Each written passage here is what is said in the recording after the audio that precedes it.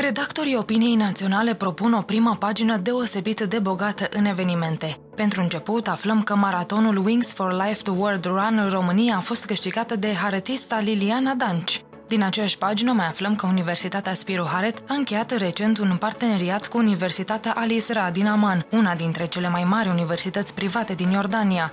Tot la capitolul evenimente haretiste aflăm că în perioada 13-17 mai în Portugalia se va desfășura congresul și târgul Erasmus Eracon 2015, unde Universitatea Spiru Haret va fi reprezentată de profesorul universitar dr. Gheorghe Duda.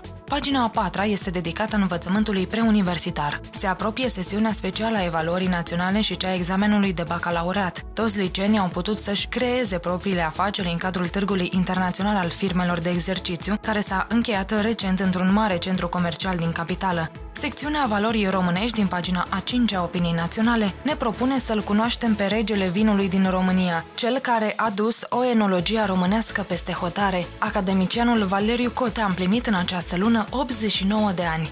Invitația în lumea artelor vizuale ne propune să ne bucurăm de o lucrare de excepție, Peștele și Pescarul, al lui Mihai Moldovanu. În cel mai recent număr al publicației Opinia Națională, Mioara Vergu Iordache vorbește despre ce este normal și ce anormal în România anului 2015. Din păcate, cele două aspecte sunt confundate în ziua de azi și de cele mai multe ori în societatea românească, anormalul tinde să ia locul normalului.